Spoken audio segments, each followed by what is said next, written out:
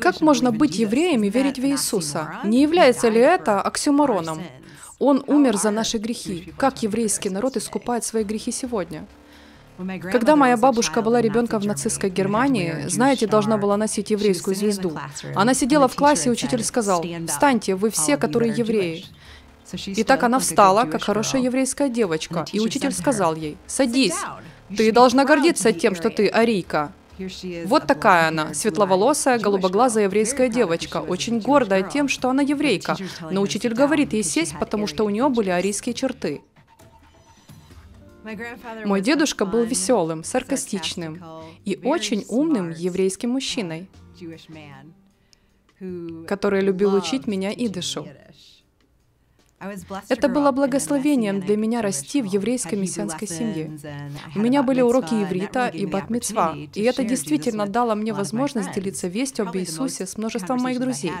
Наверное, большая часть разговоров, которые были у меня, были с моими друзьями-ортодоксами, потому что они действительно хорошо знали Тору и Гавтору.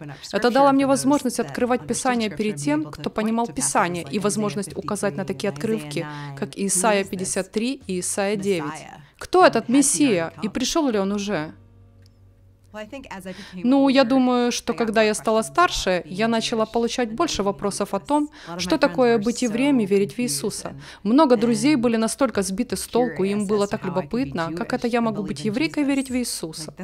Как вроде бы это оксюморон, не так ли? Это провоцирует много разговоров. Некоторые люди просто относились к этому с апатией. Они говорили, ну хорошо, ты можешь верить во что хочешь, я буду верить в то, во что я верю. Все могут верить в то, во что они хотят верить. Однако у других, особенно ортодоксов, действительно начинали появляться вопросы об этом. Я думаю, самое худшее, что со мной произошло, когда я делилась Евангелием с одними людьми, это был ортодокс, который проходил мимо и просто плюнул на меня. Серьезно? Вот человек, который якобы любит Бога, и вот то, что он собирается сделать. Он собирается плюнуть на меня, потому что у меня другие верования, и я верю, что Иисус является Мессией. Если вы действительно думаете об этом как еврей, как евреи искупают свои грехи сегодня? Если мы люди, если мы грешные, если мы несовершенные, как при том, что у нас нет храма, чтобы действительно прийти принести жертву и искупить наши грехи, то как мы искупаем наши грехи? Иешуа действительно пришел, Он умер за наши грехи, поэтому нам больше не надо даже искупать свои грехи. Вера в то, что Иисус — это Мессия, что Он умер за наши грехи и что Он вернется снова, это просто настолько великолепно, и нет никакой другой надежды, подобной этой. На протяжении всей своей юности и взросления у меня была возможность ходить с Иешуа. Вы, безусловно, заставите людей задавать вам вопросы, и это достаточно сложно.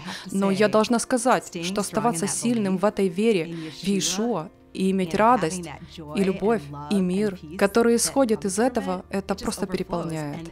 И мои друзья и другие люди действительно относились к этому с уважением, потому что я могла быть наполнена той радостью и любовью, которую дает Иисус Иешуа.